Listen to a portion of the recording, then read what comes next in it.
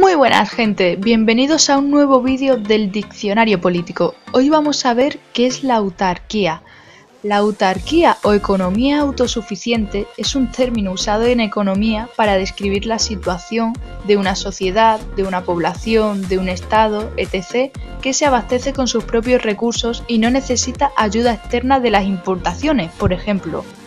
En otras palabras, ¿qué es autosuficiente?